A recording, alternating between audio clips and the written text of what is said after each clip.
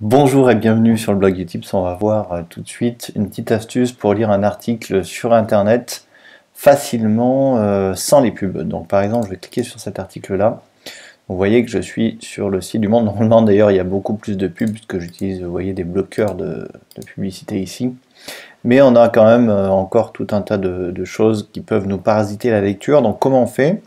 Il suffit simplement, vous voyez quand vous avez cette icône qui apparaît sur un site, c'est que je peux isoler l'article, voilà, comme ceci, de façon euh, à le lire sans les pubs, sans tout le reste du site.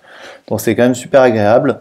Si euh, l'article vous intéresse, vous pouvez tout à fait, alors là vous voyez d'ailleurs que vous pouvez aussi euh, changer le fond, hein. si vous lisez le soir, ça peut être vachement agréable d'ailleurs de passer en lecture comme ça, plus sombre, avec le texte blanc.